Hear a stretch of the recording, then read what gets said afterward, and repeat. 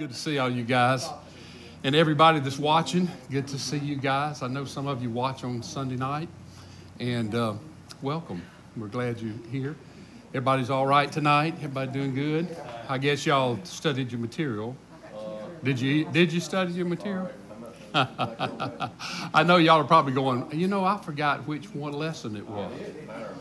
Yeah, I, I, and I can understand that because it's been two weeks because we, uh, you know, we had the little hurricane deal last week, and uh, and then and we we had kind of gotten off schedule just a little bit.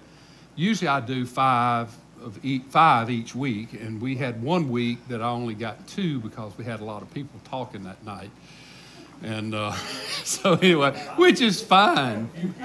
A few people talking a lot, and. Uh, but that was fine because, uh, you know. So anyway, we've been off kilter, but we're right. We're back on kilter because the last week we finished with the mouth, with the last of the mouth. So we've looked so far at the ten rules, uh, ten commandments, ten greatest thing that the Bible has to say about your mind, and then the ten about the mouth now, tonight we start the new section, which is money. Which we don't have. Yes, which y'all really don't have any problem with, with the money. I know. No, right. Yeah.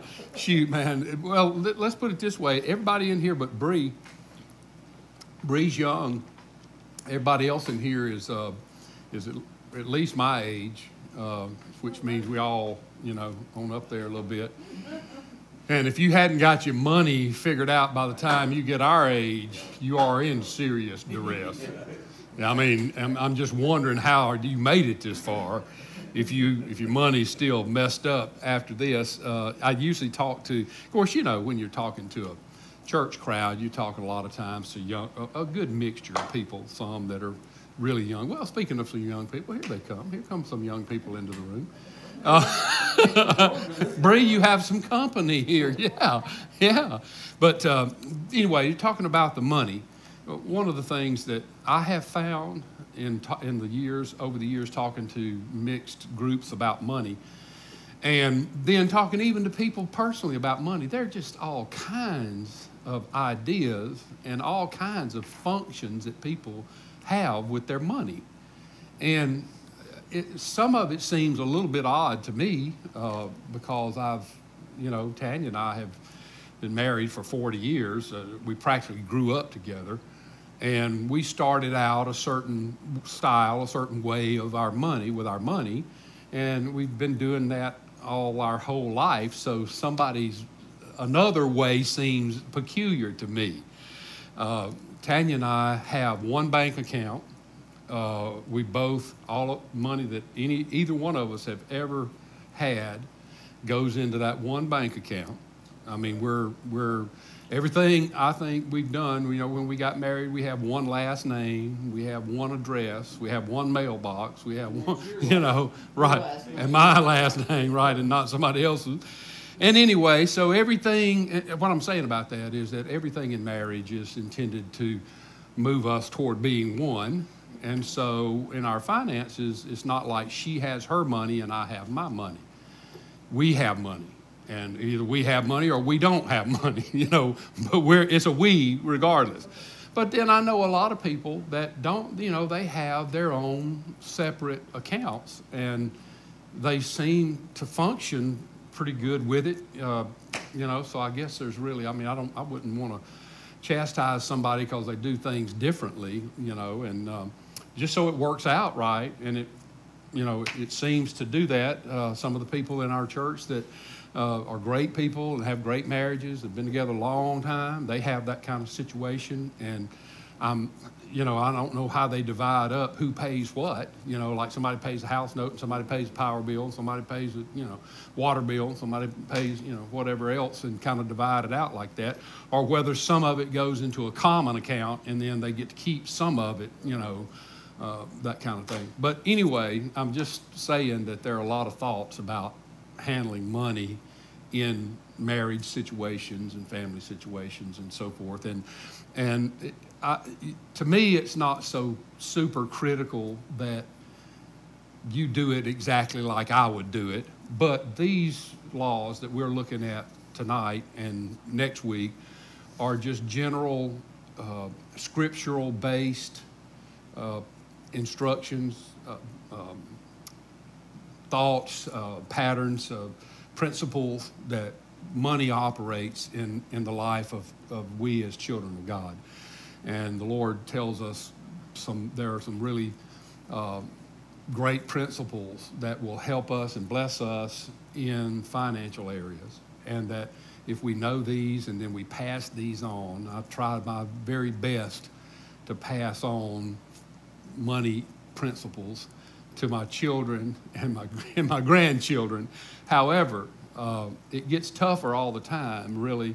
I don't know this this world we're living in and th- this generation of children. You know, we were talking this morning. We saw all our children up here, and you know, we've got lots of children, a lot of teenagers, and um, it just, man, I, I watched the life. I watch uh, financially how it is, how it is for them, and what they're coming into, and I'm thinking, man, how are they going to make it? Because I know how expensive things are, and you know, if you don't have a job that pays excellently, you're, you're not going to have enough to even have rent a house, much less have automobiles and, and other uh, lug. Well, an automobile would be a necessity, but but just have some of the necessities of life. And you and if you and you're going to have to marry somebody that has a good job, and both of you are going to have to work hard together, even to have enough to survive. It's, you know, back when we were growing up, when all of us were, except for Bree and Sharon and Mitch, they all young, but, but us, uh, back when we were coming up, man, it was nothing to, I mean, I didn't even think about the fact when Tanya and I got married that we weren't going to be able to make it financially. I mean, it, that never really just even crossed my mind. It was like, sure, well, we're going to get married and we're going to have a home and a family. And, you know, I mean, I, did, I, I mean, it didn't even dawn on me like, you know, you might, you might not be able to get a job and have enough money to have a home or something. Uh, I remember our first, the first home that we owned, that we owned was a mobile home, a trailer, Miss Bell, and uh, we. Uh, you know, now seriously, Beverly and Lawrence did not know until Katrina what a trailer was. Oh, you knew, but she didn't know. She did not, they did not know what a trailer was because their place, their apartment building was totally destroyed. Well, as a matter of fact, it wasn't even there anymore. There were 26 apartment buildings on the lot. There were like two story buildings. And when we went back down there, there were only six of those buildings still there, and there were 20 slabs that looked like they had been swept with a broom. I'm talking no debris around them, no trash, no pieces of construction material, no automobiles, nothing. I mean, it just looked, looked, like, looked like you just took a broom and just swept things clean as it could be and nothing was laying around or anything like that and there were and 20 buildings were gone and so they obviously didn't have a place anymore or any furniture or anything except the clothes on their back, you know, and whatever they were able to just run and carry out with them in their hands when they were running from the water because the water was chasing them. The water was coming up so fast, they almost drowned. Um, I mean, it almost overtook them. It was, it was coming up so fast. I mean, it was like this deep, and then maybe two minutes later, it was four feet deep, and two more minutes is seven and eight, because down there on the beach, it was like 28 feet, the flood, that the, the tide was. But anyway, point is that uh, we, we've had to find a place for them, and we found a place up in the country, and in the woods, and it was a trailer. so sure it was a it was a trailer. And this, I remember I remember Bev asked me, she said, What's a trailer, Pastor? You know, I said, It's a mobile home. Oh, okay, mobile home. Okay, I got it. You know, but we call them trailers. You know, you got to stay in a trailer. Well, Tanya and I, our first home was a trailer. And we bought it, it was used, and I can remember, still remember, it cost, uh, our note was $87 a month. And, uh, and we were wondering, man, are we going to be able to do this? you know, $87 a month. And uh, but anyway, but it didn't didn't dawn on me. But nowadays, you know, good night. Uh, if you go to college, you usually come out of college with such a tremendously high student loan Yep, yep, yep. uh, because everything costs so, is so astronomical in its price that uh, you're going to have to have a good job just to pay back your student loan. Much less now you got a house and you got groceries and you got automobiles, you got whatever other things. Yeah, I mean, good night. And uh, so I, I, we need to really pray for our for our generations that are coming on now, and also these principles of finance uh, are just more important than ever uh, that we pass these things along. And I don't know if you have influence over your children or grandchildren or anybody that's coming up, but if you do, uh, you need to grab hold of these and let's see if we can pass some of this stuff on because I'm, I'm really fearful for what, what this bunch is going to face, you know, and how they're going to handle it uh, because it is just really something else. And making $7 an hour or $10 an hour, you ain't going to make it. I mean, you could have both of you making $10 an hour and you'd ha- you ain't going to make it. And uh. I know it. Yeah, I mean, it's unbelievable which is the first law, actually. Bill, did you raise your hand or did you just one- praise One thing is don't spend what you don't have. Yeah. Yeah, absolutely. Um, Next thing is like you were talking about like when we were younger Mm. and all like that. Probably one of the first things that a girl's daddy wanted to know is, do you have a job? Right, That came before, are you a Christian? Mhm. Do you have a job? right. And if you didn't, then, uh, don't be asking You gotta hit the road. Right. Yeah, we, uh, I And it was teach, just our mindset, that I love this woman enough, or this girl, and I'm gonna take good care of her. right, And, and that was just the mindset. right, You'd work two jobs, three jobs, whatever you had to do, right. you were gonna provide for her. Yeah, that was our mindset. And um, I just, you know, I just wonder now, uh, that doesn't seem to be the mindset of this generation.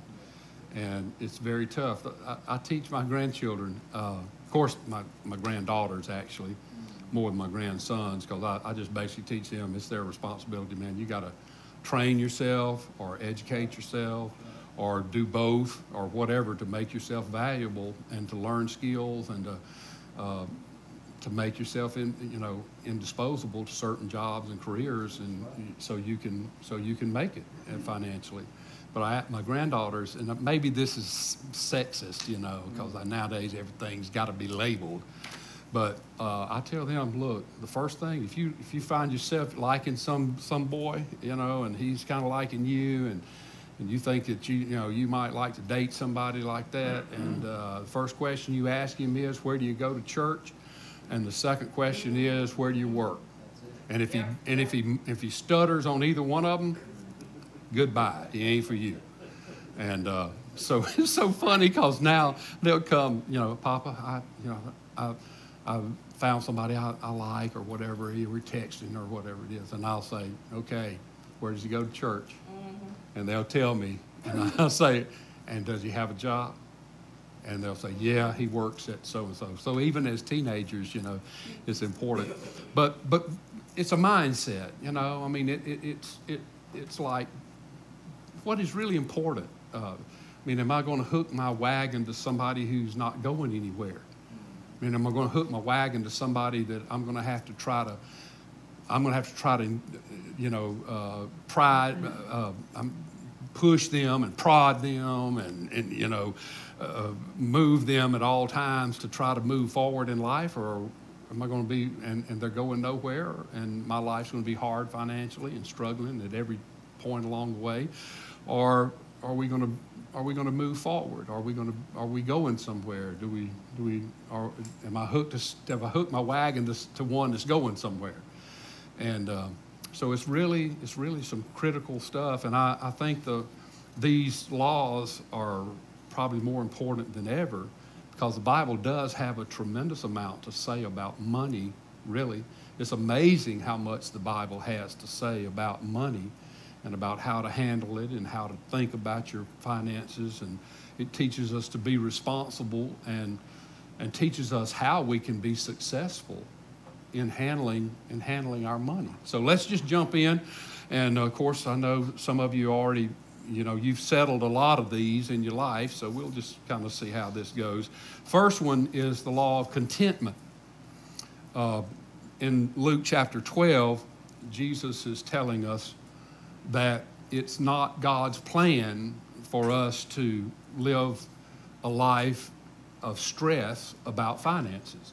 Luke 12 is the passage that says, uh, the Lord takes care of the birds of the air, the Lord takes care of the flowers of the field. Uh, seek Him first and His, and, and, and His righteousness, and then all these things will be added to you. Uh, he's really just telling us look, don't get all stressed out about what's going to happen with your finances because God has, has, de- has basically developed a strategy for you if you will put Him first in your life. And the way you put Him first in your life is by considering. I see some of you covering up. Are y'all cold? Are y'all all right? You can't go back in. I know, I know, I know. Um, But this one is on. yeah, yeah. Let's let's turn that one up. Uh, Bill, go over there and turn that up to about eighty on that side. mean turn it on. Yeah, turn it up. Turn the temperature up. That way it'll make it go off. Yeah, yeah. But anyway, um, that the Lord um, intends for us to be to live a stress-free life about our finances, and the number one uh, way of beginning to live a life with, of stress-free financial life begins with uh, with our priorities, with the things that that we prioritize in life. Uh, because life is not just simply the accumulation of stuff.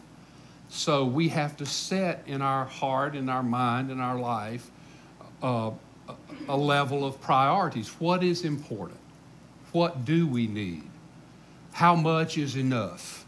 Um, what do I need to seek first? And then what is my next priority? And what is my next priority? Because nowadays, for sure, we have a whole world that is, that is pressing us and our children and our, poster, our posterity to be disenchanted with what they have.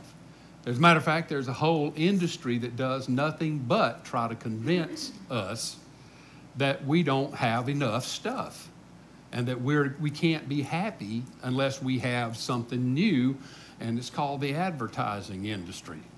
Every commercial you see and every commercial you hear is in, has one purpose in mind, and that is to convince you that you can't live life without this, whatever it is that they're pushing. Get this type of, you know, this is the new invention from Ronco. It slices, it dices, it does, you know. But wait, there's more. And they'll, they'll throw something in extra. I tell you, one of the most brilliant strategies I think that's happened uh, in the last few years in that kind of marketing. It's, it is. It's just brilliant, and and whoever thought of it, I don't. uh, You know, they. It's just a brilliant marketing strategy. Now, have you ever no, have you noticed on on all these kind of things on TV where you're being convinced you can't live without it? Um, not only you can't you get this one, but they're going to give get, they're going to give you a second one for free.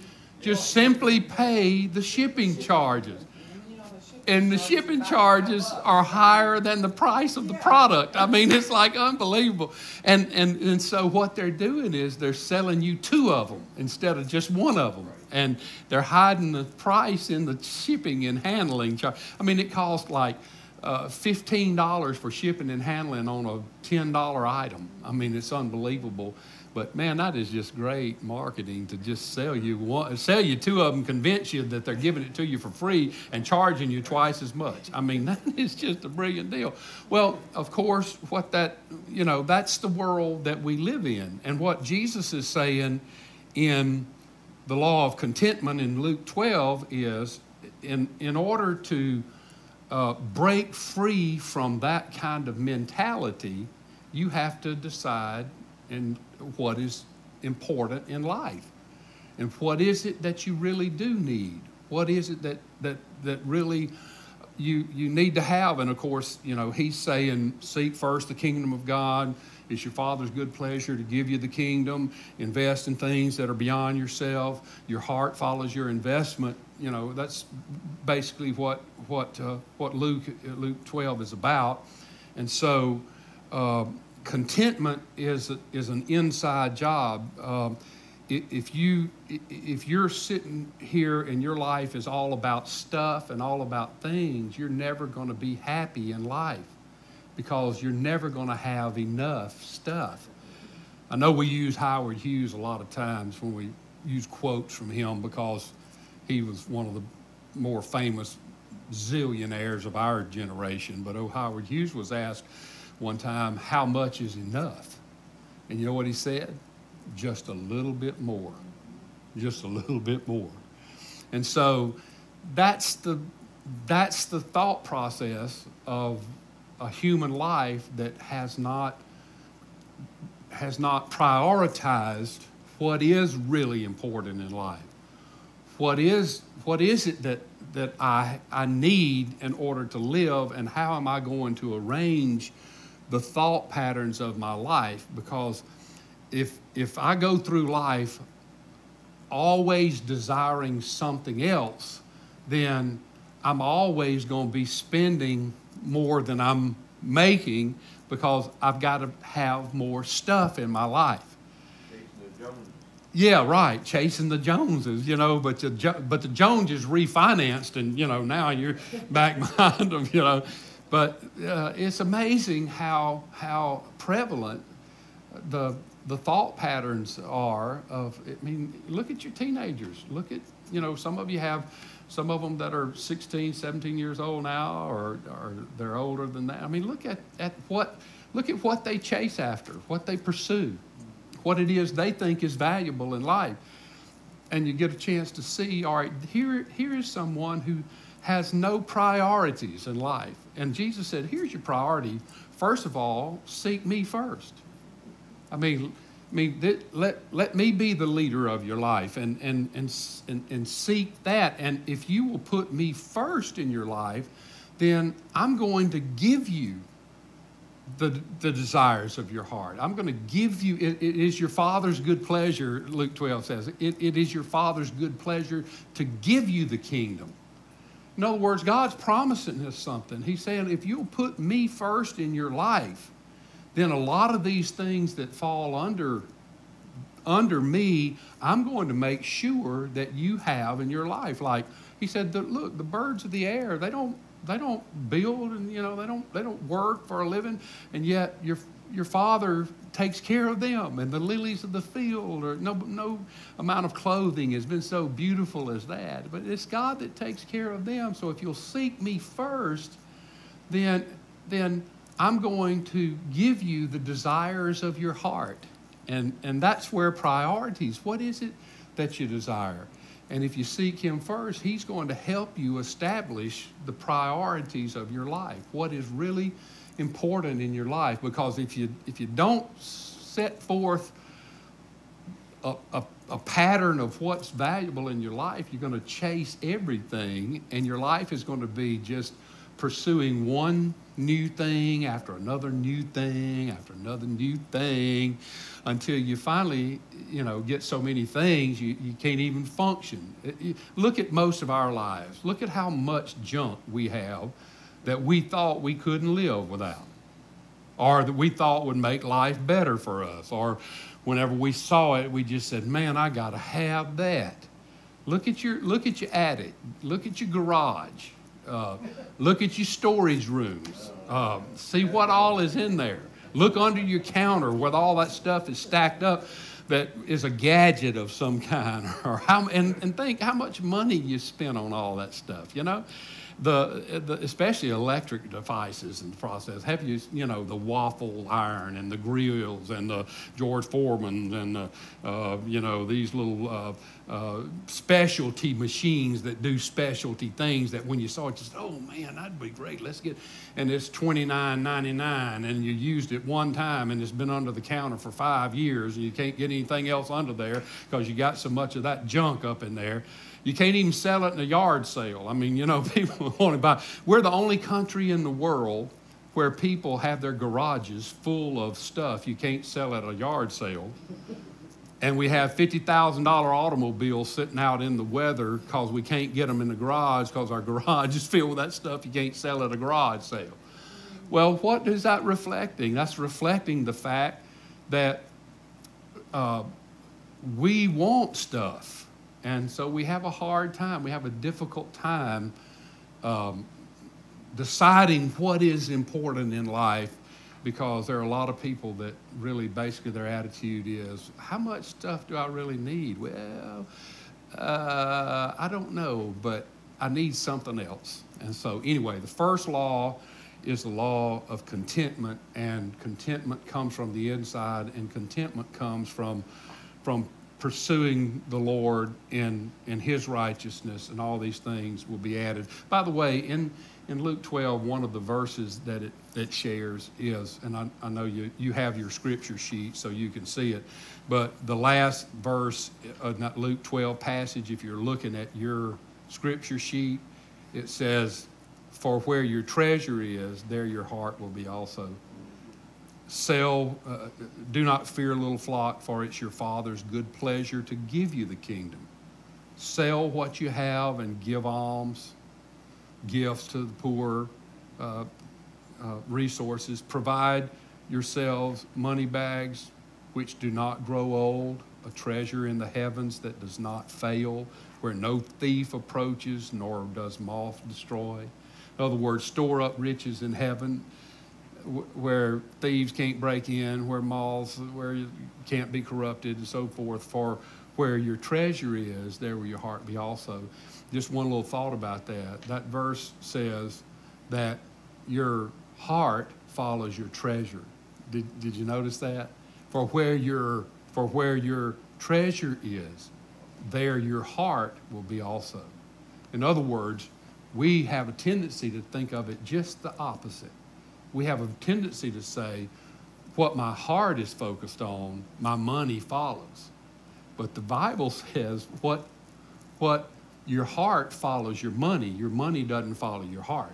As an example, you, you, have, you see a little piece of property for sale, and you drive by it every day, and it has a little for sale sign. Well, you know, after a few weeks of it or a few months of it, you see the little sign. Well, you you just basically uh, get used to seeing it, and and, uh, and you ignore it after a while. But if you buy that little piece of property, then you'll never drive by it again without noticing it.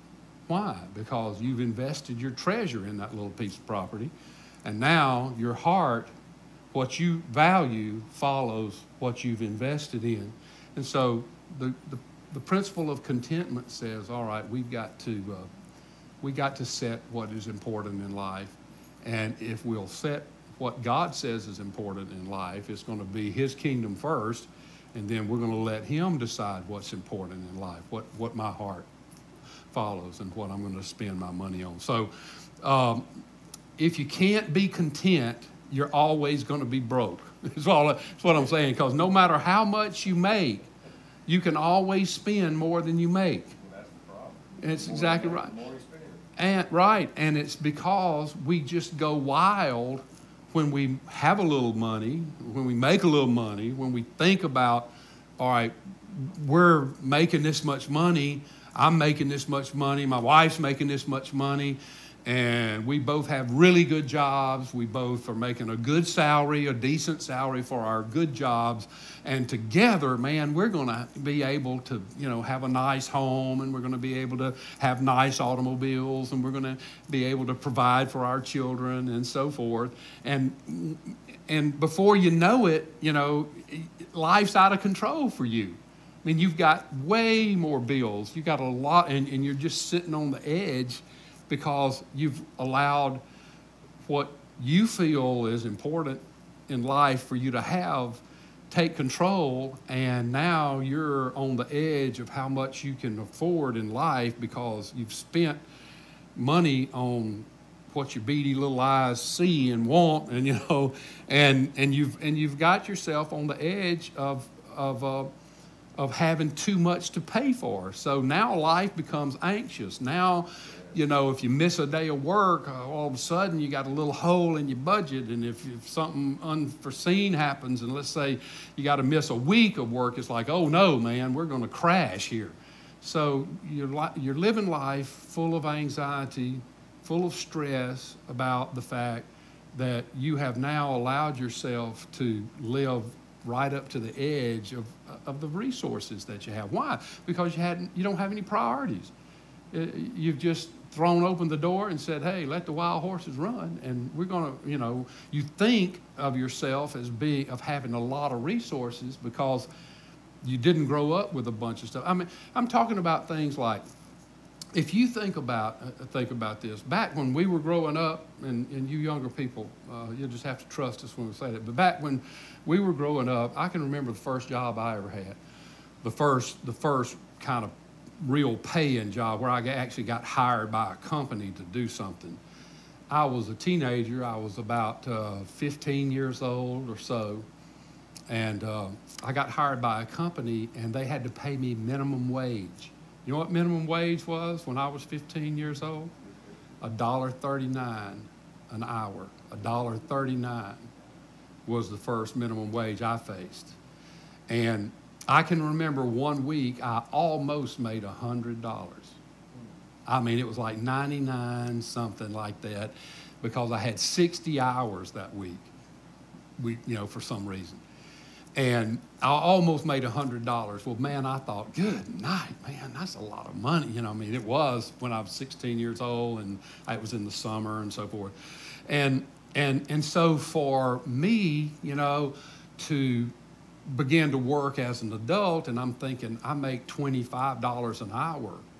Man, that's just like astronomical. You know, it's like, good night, man. That's gonna, and you're, and in your mind, you're thinking, I'm gonna have enough money to get whatever I want, and, and you know I can buy a car, I can get a plate, you know, because you're thinking twenty man, twenty five dollars an hour, and your mindset is that's a lot of money because look at where it came from from a dollar 39 an hour now making 25 so it's hard for you to tell me i need to be careful because i can spend way too much because my mindset is now i have plenty because compared to what I used to have, boy, I mean, I'm just way up there.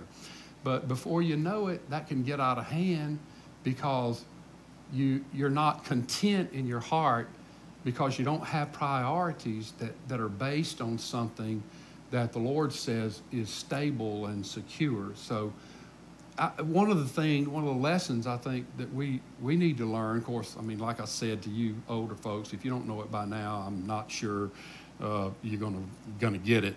Uh, you probably already have it, or else you wouldn't be here. You know, you'd be somewhere else uh, on the street, you know, or something. But uh, but uh, we really have a responsibility, I think, if, as much as possible, that we encourage our young people and our young couples to to seek God's kingdom first and to set some priorities in life so that you can learn to be content with what you have. That life is not just about getting new stuff and having more stuff, because if that's your mindset, life is going to always drag you into more stuff.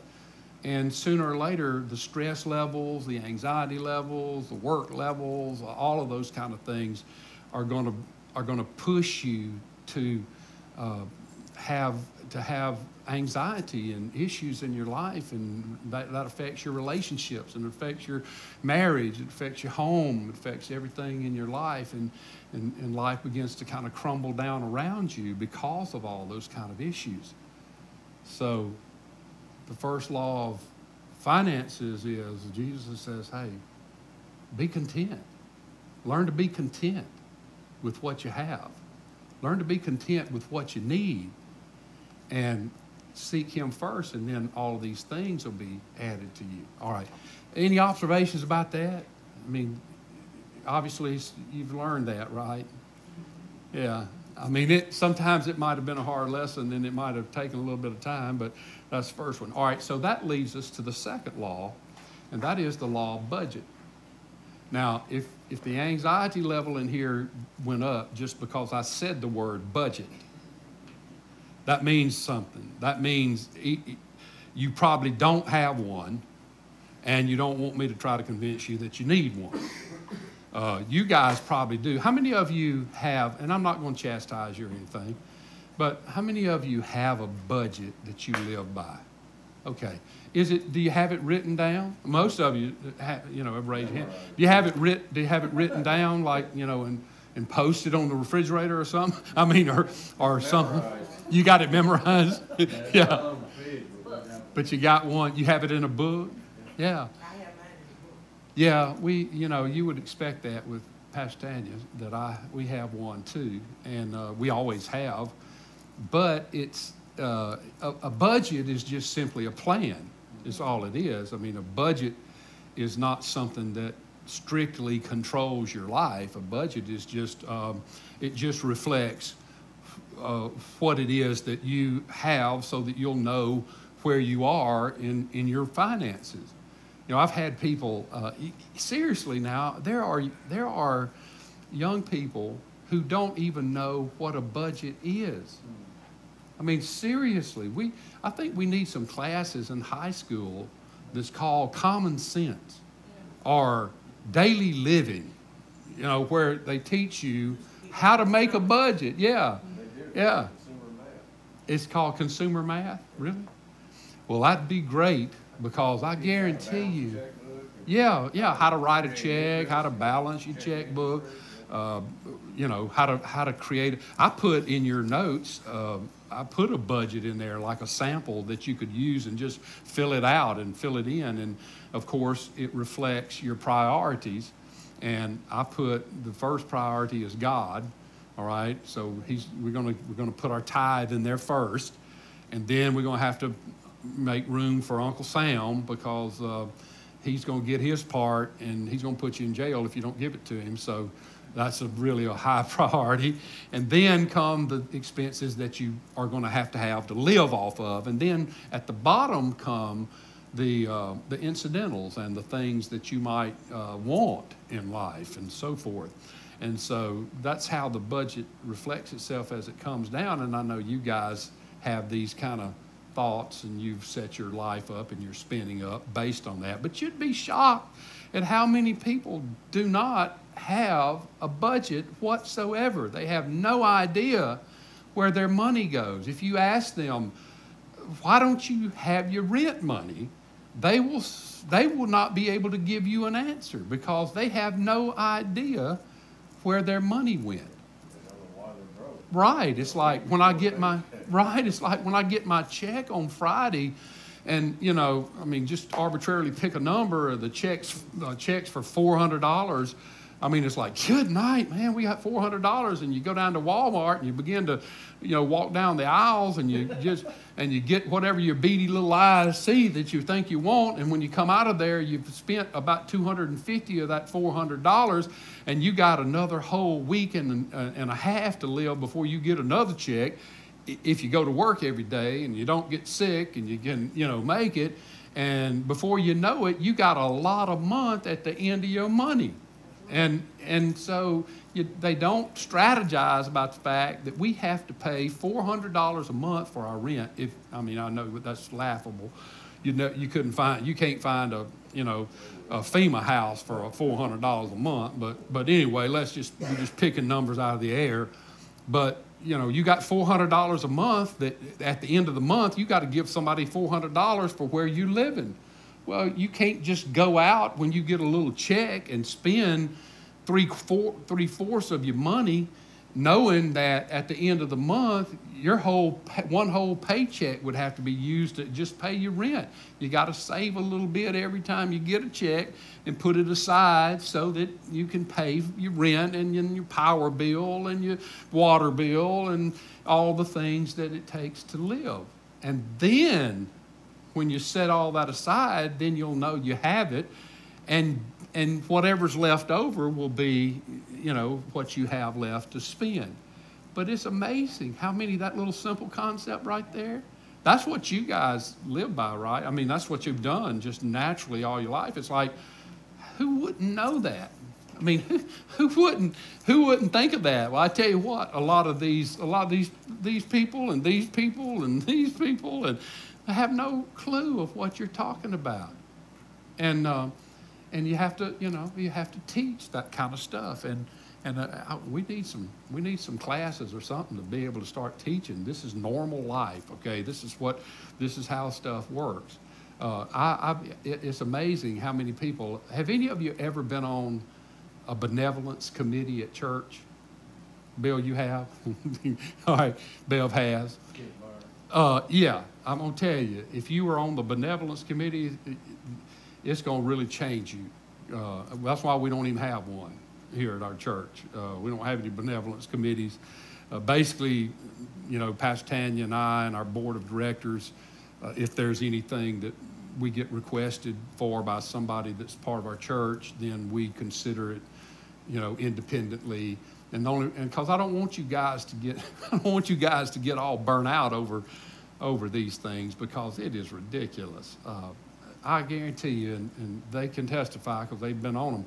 You'll have people that will come because they they owe last month's rent and they've got just about half of this month's rent so they they're really two months behind and they're going to have to pay the whole you know seven eight hundred dollars plus the seven or eight hundred dollars for this month so they got fourteen hundred dollars worth of rent they got to pay and they got hundred and fifty dollars saved up you know toward it and they need something you know they need the re- they need some help with the rest of it and then you start talking to them about, okay, well, let's just see what has happened with your money. Let's see, you know, because, I mean, this is something that uh, obviously is an issue, and we don't want this to keep being an issue. So let's see if we can go over this so we can start helping you know how not to let this ever happen to you again and you'll find out that they have stuff like cell phones and they got unlimited this and unlimited that and unlimited that and their cell phone bills $125 a month and then they got cable tv and the cable tv costs costs yeah do, do what They got they got expenses. Yeah, that's right. And then they got cable TV, and the cable TV cost 125. They got internet on that, and then, it's, and then the TV is probably 150 dollars, 140 dollars a month. And then you know they, they have fancy. They have the latest uh, iPhone 8 and all this kind of stuff. In, in, in other words, you start looking at what they're spending money on, and you're saying, "Good night, man. No wonder you don't have any money." You've got all of these luxuries of life. Do you know you can live without internet? I mean, it's like, oh my Lord, you know, people nowadays like, are you kidding? Uh, you don't have to have cable TV. Uh, you don't have to have the, the latest and greatest, fanciest phone and most expensive services and all that kind of stuff. But it's amazing. They have all of that and they can't even pay their rent. It's, it's like, are you thinking, man? I mean, you're going to be out walking on the sidewalk here in a minute, but you got a cell phone. You- yeah, right. Sleep under your cell phone, you know. Yeah, look, don't get luxury expenses until you can handle the expenses of life, like somewhere to live and something to eat and, you know, maybe a little bit of electricity for yourself and a little water and all that kind of stuff. And, and, and know what you need before you start getting your money so you can put aside some of it in order to have it when you need it. But I'm serious. There are people who really don't have any kind of concept. And I know y'all are finding that hard to believe. But am I telling the truth oh, about that? Oh, yeah. I guarantee you, and what you want to look at them and say, How stupid are you? You know, I mean, what in the world are you thinking about? You really want to chastise them and really belittle them and just berate them because now they're asking you to finance their uh, ignorance and finance their irresponsibility of life. Now, you know, here's the way I feel about stuff. As long as you pay your own bills for what you have, well, I don't have any right to criticize you. I don't ha- because you're not asking me.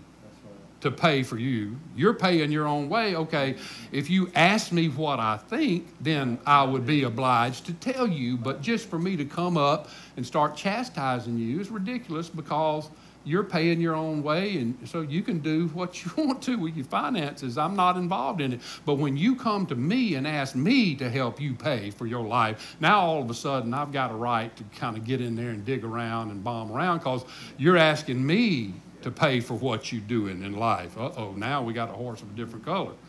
And what I want to try to do is be helpful so that it, this won't happen anymore. Because I guarantee you, if some of the priorities of your life don't change, it's going to keep happening over and over and over again.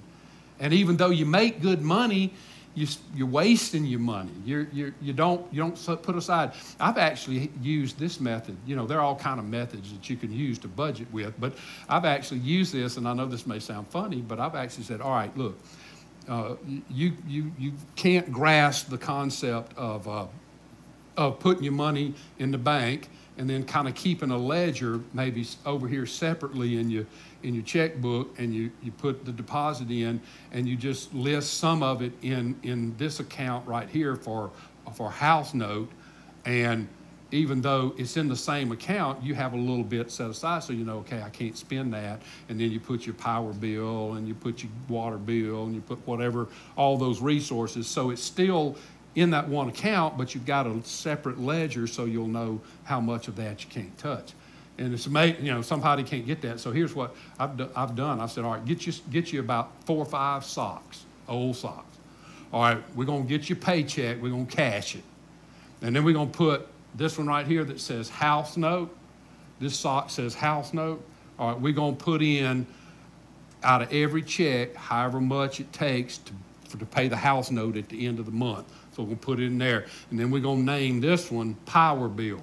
And then we're going to take a little bit of cash and we're going to put it in power bill. And then we're going to take water bill and we're going to put it in there and it shows your water bill. And then whatever resources it takes to keep your house, we're going to have them in this sock, this sock, this sock, and this sock. And then this last little sock down here is money I can spend. And you put it in there. And when you, this sock gets empty, you are finished with your spending for the month.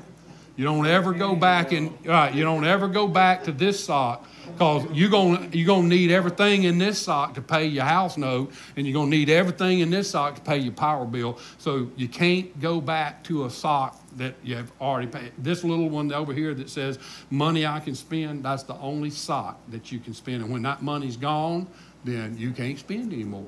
That's the end of it. But but it's you know, so you have to get real, you know. But that's the law of budget. Yeah, Bill. Yeah, What?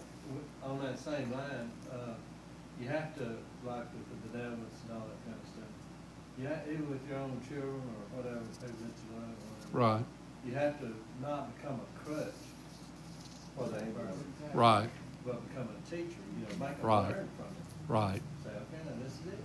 Right. Do it again. You know, one of the most difficult things. And it's hard, it's hard to do, I know. It is. But I, I tell you, you know more about my life than anybody in here. And, and I've got, uh, you know, there's people that, you can give them a thousand dollars on Monday and Friday they'll be broke. Right. And Sure would. There's people like that that would just never Sure would. that. Yeah. But I- I'm always reminded when we talk about benevolence, there was a guy called one time, called the church and the secretary said, Mr. Billy's right here, so she can send it. Oh, and he said, You were on the benevolence committee. Yeah, he said, I'm so-and-so, and then that- I came down to Florida to help my mother, they had a storm down there, and the Uh, wind blew a bunch of limbs and broke trees and all that. He said, I was down here cleaning up. And, uh, he said, you know Miss So-and-so? And I said, yeah. He said, well, I'm her ne- nephew. And I said, good. And he said, Good. uh, I was out here cleaning up and I've lost my wallet. that always happens, And he man. said, uh, These people lose And everything. he said, uh, and I really don't have enough money to get back home. Yeah. And I said, well, how much do you need? And I don't remember if he said a hundred or two hundred. And I said, okay. I said, but now, your password, and I've talked to you about this before, is gonna be Joy, J O Y. Uh-huh. If you don't know that, you won't get the money. And I said, do you know what J O Y really means? He said, no. I said, that means Jesus over you. I thought, Mhm. I didn't know. Maybe that'll make him do right. It? Jesus over Did you.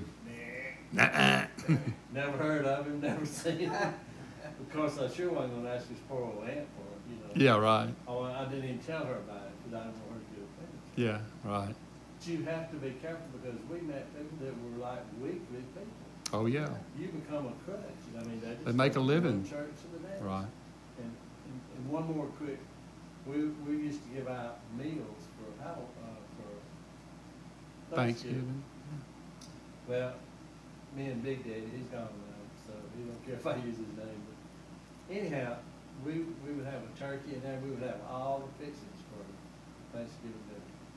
And we would go places and hand them out to people, tell them, they were from Bo Baptist Church and Lord sent this to Right. you, you know, just try to be a good witness. um, And I'll never forget, Big Daddy said, okay, man, it's your turn, so I got out, okay, knocked on the door, lady coming. I don't know if she had a cigarette hanging out of her mouth, I just probably did. And, uh, I said, I'm Billy Woods, I'm from the Baptist Church, and. And, uh, she said, uh, she just kinda laid down there, forget she opened up the box, she said, you mean I got a cookie? I mean, I gotta cook it. And I thought a whole bunch of different things. Yeah, right. And I told Big Daddy, I go back to the car, I said, the rest of them yours, I'm done. That is it. I'm finished with it. You mean I got a? You mean I gotta cook it? Yeah, thought a lot of things she could do. right, yeah. One thing for her, I thought of a lot. I'll never forget that. Oh, my goodness. Well, you know, The You mean I homeless, got a Right. when you see them on the corner, and Right. they got a cigarette right, Or dog. or a dog, yeah, Okay. and, and, oh, I need money to, for food. right. Well, put that pack of cigarettes down and don't get any more. Yeah, say, how much that cost? Four dollars a pack? Exactly. At least that. Well, I think they're more than that. Yeah. Five six. Yeah, I mean, yeah, it, and and see, that's what that's right. That's see, that's what I'm talking about. When you when you have a budget, it tells you it's like a gas gauge in your car. How many of you have ever driven an automobile or a vehicle where the gas gauge didn't work? Uh, do you, so do you ever feel? Do you ever really feel comfortable? you know, yeah, right. It's like, do you ever feel comfortable? Yeah, like you're looking at it and, and, and you're always a little bit anxious about, ooh, uh, what, God, what if I run out of gas? You know, so a gas gauge, all it is is, a, is, a, is an instrument that reflects how much gas you have before you are, are going to have to start walking. Right, and so a gas, ga- I mean, a budget is the same thing in your finances as a gas gauge is in your automobile. It doesn't control what you do, it just reflects how much you have left toward what it is you need. And so, you know, it's uh, a lot of people think of a budget as, you know, good night, it's like a horrible thing, but really, all it does is reflect what it, how much you have left, so that when you think, okay, I want to spend a little money, do can I spend it? Do I have enough? Will I have enough to? I mean, it's just really a very simple question in life. It, you know, Jesus taught this. Yeah, Jesus taught it in uh, in Luke 14 when he said, "Look, nobody, no person ever starts building a, ha- a home unless they first consider the cost to see if they have enough to build it. Because if you get it half finished, everybody's going to look at you and you're going to become a laughing stock. You, you're going to be considered a foolish person because you got your house half built because you ran out of money because you didn't consider how much money you needed before you started building the house. Or he said, no, no king goes to war with another kingdom unless he first considers, all right, how big is that army? How big is my army? Do I have enough to fight against them?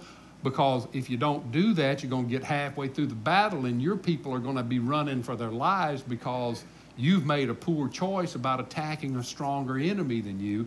And you're going to have to try to make peace with somebody now who has the upper hand, and it's going to hurt your people. So Jesus is teaching us to know what we have before we ever start on a, on a project so that we can make it all the way through the project. So budgeting is something that the scripture teaches us to do with our with our resources to consider what we need, look at what we have, know where we are all along the way so that we don't when we when we get to the end, you know, we don't have more month than we do money and and uh, and live that way because there's nothing that brings anxiety levels up in a home like running out of money. Now, I'm going to tell you, uh, nowadays the divorce rate in first marriages is, is 40 to 50 percent. oh, uh, uh, basically, one half of the people that get married the first time end up in divorce. And, and most of the time, one of the number one issues is money. When the finances get tight, everything gets tight. Man, the feelings get tight, the short tempers get tight, the anxiety level goes up, the stress level goes up. I mean, it, it's a real killer in relationships. And, and, and so, money, I mean, it just seems so mundane. And I know we as God's people, because, uh, you know, you guys obviously have lived a lot of life and you've made it and you've you have these principles in you, you know, or else you wouldn't be alive right now, most likely. Um, but you've and you've conquered them, and, and, and I know it's hard to imagine that some people don't know anything about what I'm just talking to you about.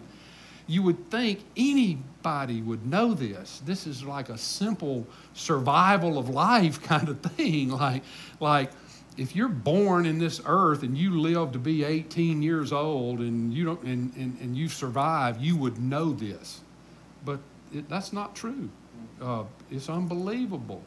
And so somebody's going to have to bail. And one of the most difficult things to do is to have somebody that you love hit you up for finances because they did not discipline themselves to control their life so they don't outspend their income. If your income, if your if your outgo exceeds your income, your upkeep will be your downfall.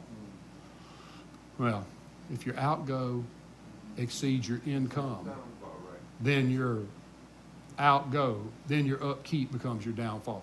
It, yeah, that's it. But but uh, so many people don't do that, and it's hard to tell somebody you love no. Have you ever had to do that? Finally. I mean, it is. It's very difficult. Now, if you don't have the resources to do it with, it makes it a lot easier because you can say, "I'm sorry, baby, I just don't have it. I, I would give it to you if I had it, but I just I don't have it."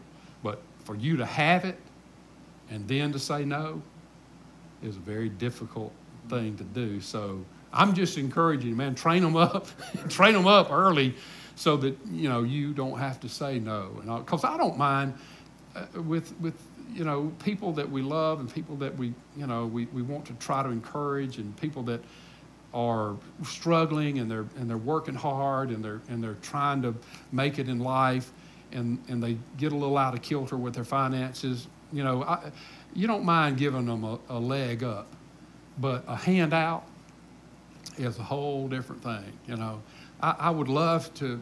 I mean, if, if I can bless you and and this and this resource can give you a leg up and you can learn from it and you can grow from it and you can say all right i'm not going to let this happen again and you make some adjustments and you do some living and you get faithful and you discipline your life and you set some priorities that that would be fine if you could do that but so often that's not what happens. So often you just become a crutch. And i'm going to tell you they're going to spend all their money and they're going to spend all your money. And both of you are going to be left out in the cold. So the law of contentment and the law of budget first two laws. Let's do let's do another one. Uh, this one may sound a little funny. The law of fish. The law of fish. I know you're going to say what in the world it's the law of fish. Well, the law of fish basically says that um, what you need in order to survive or prosper is most likely right at your right at your disposal, eh, but you don't see it. In other words, God can provide some things for you and supply some things from you and they can be right at your feet and you not see them. And so uh, the law of fish is that, uh, that God will provide for your need, and you just need to open your eyes to see it. This is where Peter, uh, Lord speaking to Peter, and he says, um, "Go down to the go down to the sea and cast your hook, and the first fish that you pull up, um, is going to look in his mouth, and there's going to be a coin in his mouth, and you're going to be able to pay the taxes for me and for you. And that's one of those funny little miracles like, good night. What a, you know, what's Jesus concerned about here? Well, he's concerned about the fact that they owe some taxes. And so Peter goes down and, and pulls the fish up and, of course, gets the silver coin out and he goes and he pays the taxes. And so the Bible is filled with examples of God providing for a need right there with and, and it be all around you and yet you don't see it. Uh, God said basically, look, open your eyes and, and let's see what let's see what you have that you can use in order to uh, provide for yourself financially. I mean, it, it, with Abraham and Isaac, you remember it was he took Isaac up to sacrifice Isaac, and the Lord said, uh, you know, okay, I see that you're responsible. I see that you're faithful to me. So uh, there's a ram over there caught in the thicket, and there, and so there was the sacrifice right there uh, with Elisha. You know, he went in to the to the town and he saw a widow woman with a little cruse of oil and some little meal and he said, What are you doing? She said, Well, I'm going to cook this oil. I've got this, all I've got left is this little oil and this meal, and I'm going to cook a little, a little pone of bread for me and my son, and we're going to eat it, and then we're going to die because we don't have any more resources. He said, Well, uh, make one for me first. And sh- she did it. And then he said, "Do you have any? Do you have any any pots?" And, and she's got all the pots that she had, and he went over to the little oil container and he started pouring oil into the pot and filled up all of the bowls of her whole house filled up with oil. God provided for her that she, because she provided for the king for for the kingdom of God for for Elisha. Uh, Elijah was sent by God to the brook Cherith, and the ravens came and fed him every day. You know, at the on the mount, uh, Philip was asked by Jesus, "Hey, let's feed all these people," and he said, "Lord, we don't have enough stuff. We don't have." And he said, "Well, let's just go see what you do have." And they brought five five loaves and two fishes, and they fed all five thousand. In, in other words, the Bible's filled with examples of the fact that God can provide for needs with resources that we don't see. So the law of fish is that there may be something right around you that can provide for your need that you possibly have never considered in life.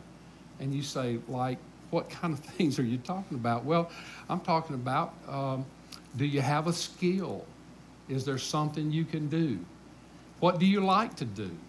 Is, yeah, is what you like to do? Yeah, is, right, right. Is what you like to do valuable? Can you make something that possibly could sell?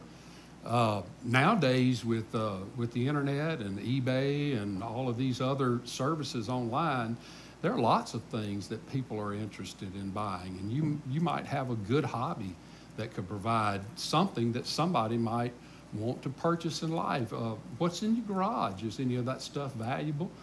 Uh, you know, is there is there something up in your attic that uh, you hadn't thought of that you could look and dust off and clean up a little bit and and sell it, you know, and make a little bit of resources off of that? Uh, do you have services that you could offer? Would somebody be interested in paying you for doing something that uh, you have time enough to do and you have the skill to do and, and it's, it's worth something to somebody else? In other words, look at your life and say, what else can I do? If you're, if you're in need of resource, what, what else can I do? I mean, I, I work at a job and I'm, I'm making, you know, money, but, but I don't have enough and, I, I'm having trouble making it. Well, what else can I do? In, in King David, I, I, I have a whole series on uh, working hard for a living, and it's about King David's life. And uh, when he was a boy, uh, let me let me just read the, this passage to you because it's uh, it, it's indicative of what I'm talking about. In 1 Samuel 16, this is a couple of verses, and I'll, and I'll show you. This is talking about about David, um, and he sent and he brought him in. Now this is a description of David. Now he was ruddy. Now ruddy just means he has red hair and freckles. All right, he was ruddy and of a beautiful countenance. Listen to the description of him. He brought him in. Now he was ruddy and of a beautiful countenance, so that and handsome.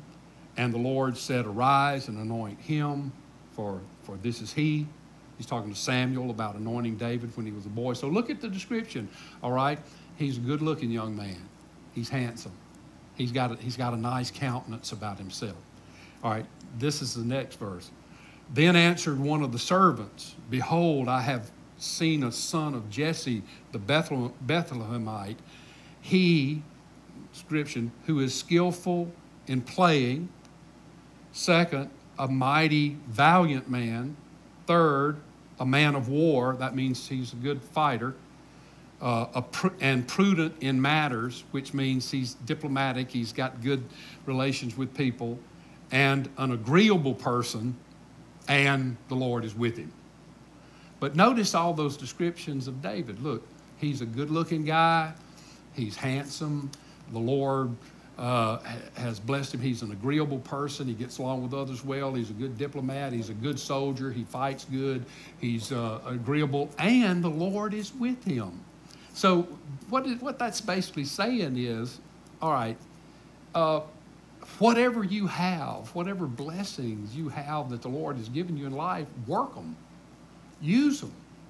Dave, every bit of that is a description of a young man that tells you why he's valuable to someone else because of all those skills that he has. And so, the more skills we have, the more abilities we have, the more likely it is that we're going to be able to use some of those to provide resources for us and our families. So, if I'm working on a job and, and uh, I'm making a certain amount of money for one of those skills and I have other skills, develop those skills.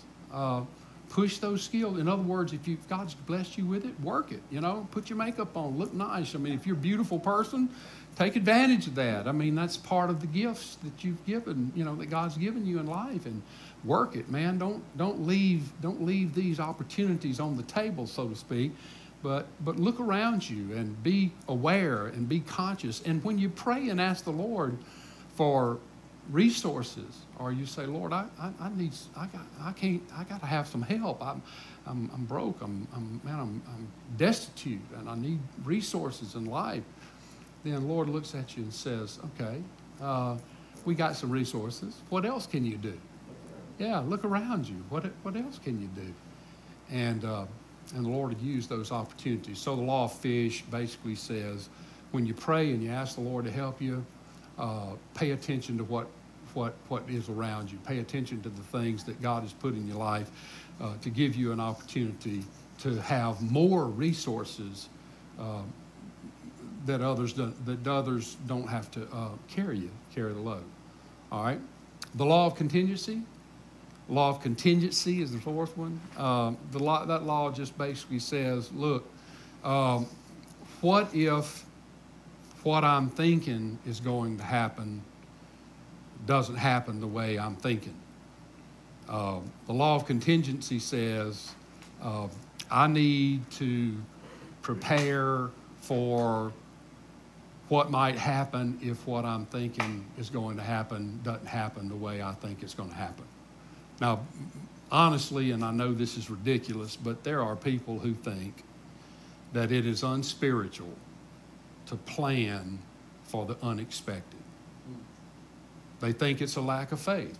You know, it's like, okay, I'm a Christian, I trust God, I believe God, and so whatever happens in my life, God's gonna God's gonna see me through. I've, I've had guys actually, now seriously, and you would this is really unbelievable to me the, the thought pattern of this, but I've had people feel like to have life insurance is is uh, almost like an insult to God. It's like you know, the Lord's going to take care of us, and the Lord's going to take, if something happens to me or something happens to her, then the Lord's going to take care of me. And if I have life insurance, it's basically an insult to God, like I don't believe God's going to take care of us. And I, to me, it's, ridiculous to think like that. Because, I mean, it, it, you know, what my response to that is, is do you have a spare in your, in your trunk? Well, yeah, why? Well, why do you have a spare in your trunk? Well, if I have a flat, I don't want to be sitting beside the road. I said, uh huh. So it's okay to prepare for having a flat tire, but it's not okay to prepare for the future of your family if you aren't here anymore. The reason you have a spare back there is because in case you have a flat tire, you will have the resources right there to fix the flat tire so you're not sitting on the side of the road with everybody buzzing by you. Same way with life insurance or preparation for retirement or whatever it might be. Um, one thing you know in life is you're going to die. How many of you think you're not going to die? Well, I mean, if, you, if you're here when the Lord comes back, which every generation since He left has believed that they will be here, which I believe the Holy Spirit probably gives us that encouragement to believe that. But so far, none of them have been right. So far, every one of those generations have gone to be, be with the Lord rather than Him coming back. So, you know, the chances are you're not going to be alive. But the, the everybody dies. So you don't just think you're going to die. You are going to die. And what happens with what happens with your family after you're gone? I mean, I- had somebody say, "Man, I'm not gonna I'm not gonna get any life insurance because uh, if I do and I die, my wife's going to be left with you know uh, five hundred thousand dollars, uh, and and man, all the guys are going to be after her for her money." And I say, "Well, at least she will have a choice." You leave her with no money and three kids and all that responsibility, how's she going to pay for that? She may have to try to find somebody in order to survive. And she might have to, you know, settle for something that's not real true love or, you know, because her survival is just dependent, man, because she doesn't have any resources and she's got a lot to supply for. You leave her with a little money, at least she'll be the one who gets to choose. You know, if, if, if there's four or five of them, she can take whichever one she likes because of that. But, it, you know, the, the law of contingency just basically says be wise enough to plan for the unexpected in life because we're all going to we're all going to have unexpected. I, the old folks, and when I say old folks, I'm talking like, like me and you. you know, the old folks in life used to say, you know, put something up for a rainy day. That's what we called it, rainy day. And, uh, and, and because rainy days are going to come, is what, what it's basically saying. And you know, There are some religions that think they should stockpile stuff too. oh yeah, hoarders. have you ever have you ever been to a hoarder? Oh, yeah. Yes. It's easy to see, isn't it? move one. You had to move a hoarder. Did you ever get all the stuff Oh, gone? no. I went in when I when I worked for AT and T. Seriously, y'all, I went into a home, um, and this was just one example. I had s- quite a few, several of these, but one of them particularly I can remember. I went into the home to install some AT and T products, and I had to put them in every room, every bedroom, and in the den. And when I walked in, even the kitchen now, even in the kitchen, there were boxes and little and pieces of furniture like you know cabinets or chest of drawers or something that took up you know some space and and boxes and and things that were stacked on every wall so I walk in, I walk in through a little entryway, and I walk in, and, th- and I'm in the kitchen, and there are kitchen countertops and the stove and refrigerator stuff, and stuff stacked up on top of the counter of the of the of the uh, kitchen, and all the way around the whole thing until there's about a like a six foot square right here in the middle of the room that doesn't have anything in it. And then I walk into the den, same thing's true on every wall, stacked up almost from the floor, probably as high as you can reach, all the way around the whole room. There's about a six or eight foot little section right in the center where there's nothing. Then you go down the hall, it's all stacked up. You just got a barely little narrow walkway to walk down the hall. Then you go to the bedroom, and in every bedroom, seriously, every bedroom you walk in, stuff stacked up on every wall all around. Right in the middle of the room, there's about a five or six foot little square spot that nothing's in, and that's it in the whole room. Can't even see the bed or anything like that. And so I looked at whoever was leading me around to show me where they wanted things. I looked at them and I said, You know, I'm going to have to get to the wall like right down there. And so you're going to have to move all this stuff out of the way for me to get down there. You know what they said? Seriously. They said, "Can you can you just can you just put it in, you know, like it is? And I said, Well, yeah, I can. I can drill a hole right up there on that wall and just run the line right down and just run it. Right. They said, Well, do, yeah, do it that way. And I did, man. I went outside. I just drilled a hole through the wall right up there above all that junk, and I just ran the wire over the top of all that stuff right down to the middle of the room. And all the room, they were happy as could be, and that would work for them, you know. It's amazing how ridiculous. I don't know how we got off on that on contingency, but, but anyway, but anyway, plan, plan for stuff that, um, that happens that, that you don't, you don't know might happen. Let's get this last one tonight. The, the fifth one is the law of excellence. Law of excellence best, uh, really basically says that you can save yourself a lot of money if you take care of what God's already given you. A um, couple of pointers. Number one, automobiles last longer if you maintain them. Uh, if you put some oil in there, those motors seem to run a whole lot better. You know? yeah, and change that thing every once in a while so that when you take the, the dipstick out, it, will actually, you know, be pliable on there rather than be pasty, you know. Um, uh, you got to keep the fluids up, you know, in the automobile. Uh, you know, it takes a little water to cool the engine. It has uh, transmission fluids. If it has an automatic brake fluid, you know, make sure all that's done. Uh, the tires roll better if they've got the correct air pressure in them and all that kind of stuff. And occasionally you may have to touch them up a little bit. Um, air conditioners run better when the filter's changed every once in a while, uh, where, where it can move air through a filter. I, I've seen some nasty filters, I'm serious, man, about that thick with dirt and stuff. And I'm thinking, how does that thing even breathe? But it works, it doesn't. Uh, leaky pipes don't tend to heal themselves. Um, if you let them stay leaking, they're going to just keep leaking and get worse. And uh, if you'll clean up things and organize it in a way that you can find stuff if you need it, it's going to really be helpful when you're working on something. Some people have stuff just thrown all in the little shed or in the workshop or whatever you call your, your place.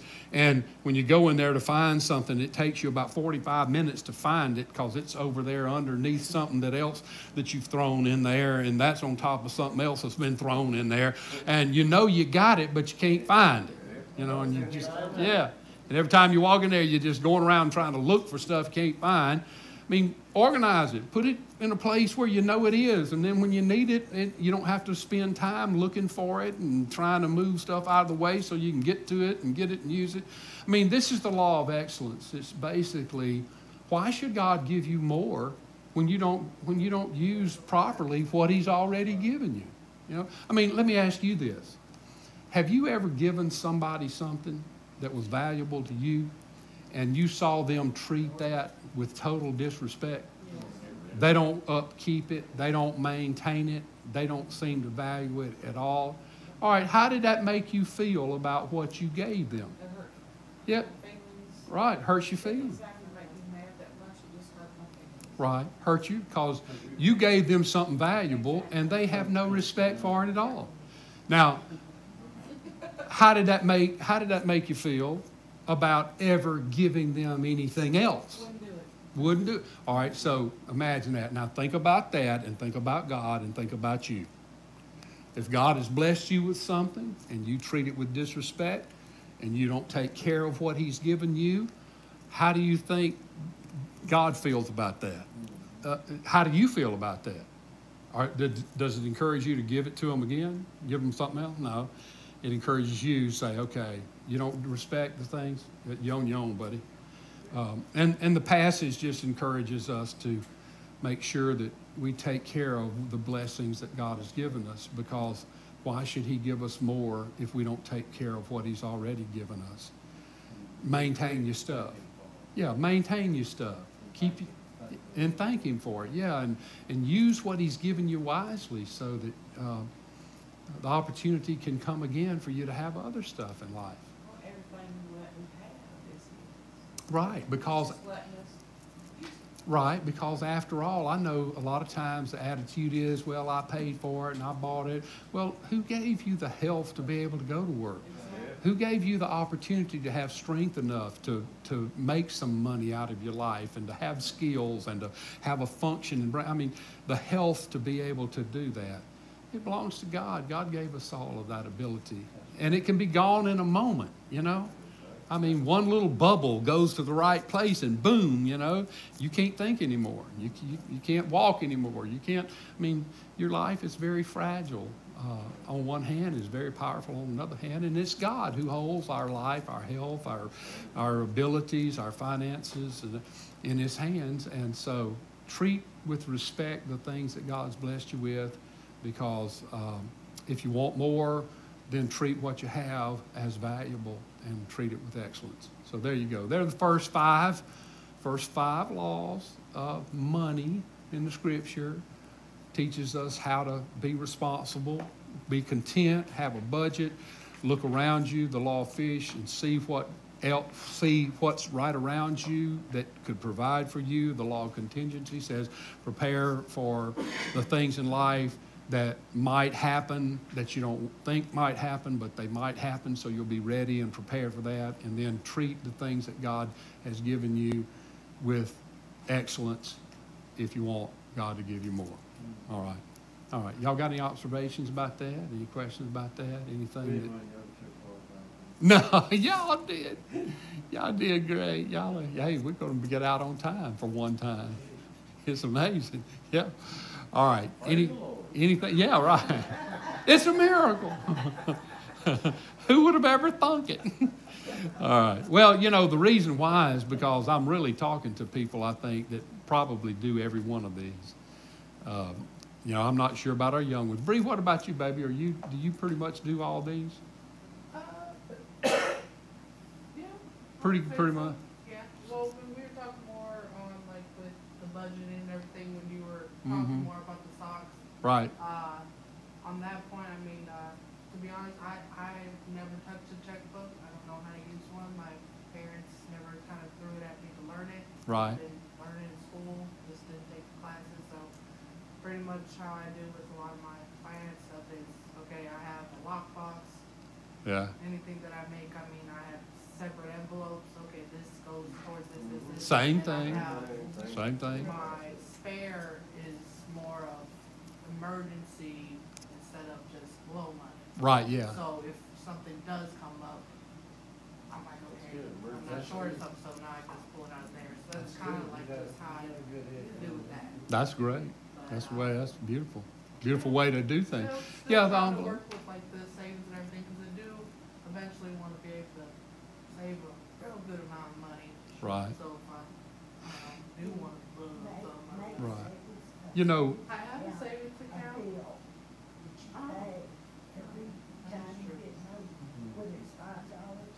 Yep. Right. Make it a percentage of whatever you have. That's really right. You know, it's, it's really amazing because now I'm 62. So, you know, I've started looking at um, the things that through my life, you know, the 401ks and different things that, and retirements, working for companies. And, and in other words, I'm looking at all of the stuff that I have as resources because it won't be long that I'll be able to start drawing on some of those things if I want to without penalties, you know, and so forth. And, and uh, so I'm looking at them and I'm, and I'm thinking to myself, man, if I had just put even a few dollars more, starting, you know, 40 years ago, if I'd have just put like $5 a week, boy, man, I'd have way more. I mean, it'd just be, it's amazing how much more you would have, just a few dollars more. Uh, by the end of 40 years, it, it's, a, it's amazing. So, you know, when you're young, it's hard to visualize that. It's hard to see that that's going to really be a real big issue. And you have lots of time, so if you put just a little bit, it really begins to add up over the years and so forth. So, whatever it is you can afford, if it's only $5 a week or something like that, I mean, do that. Do everything you can with your savings to try to, you know, lay aside those things because there, there'll be a time where it'll be necessary. Well, well, I was saying, you know, if you don't see it, you don't miss it. Right, right. Yeah, that's right. If you don't see it, you don't miss it. Yeah, if you can get it taken out of your check before it ever gets to you, you'll be, you'll be doing good. Yeah, They don't help now, I mean, And, um, but like I said, we were at a place that, um, just glad that we did it. Right. Because we wouldn't have it today. Yeah. And we were blessed that we worked for the government, the state, and that we were able to, to have that choice of doing that. Right. And and met so much of it and everything Yeah. like that. So It's good that you had an opportunity to do that. And uh, a lot of people don't, but if you'll just take care of whatever you can, it'll, it's amazing how much that'll accumulate. All right.